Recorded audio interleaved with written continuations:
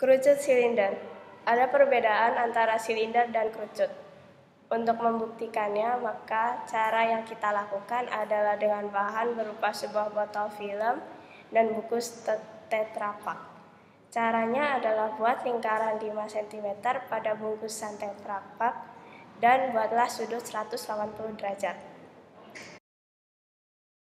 Gunting lingkaran tersebut dengan menggunakan silet.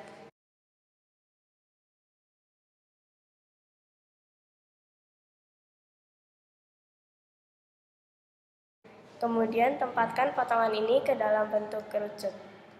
Kemudian lem kedua ujung-ujungnya dengan selotip.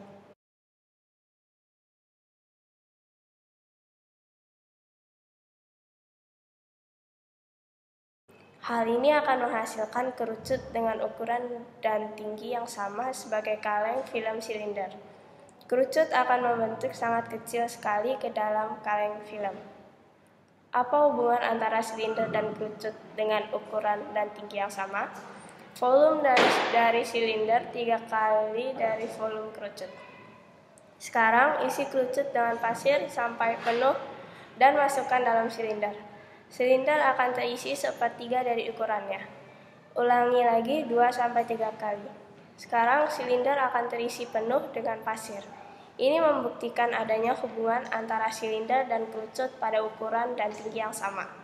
Volume silinder tiga kali lebih besar dari volume kerucut.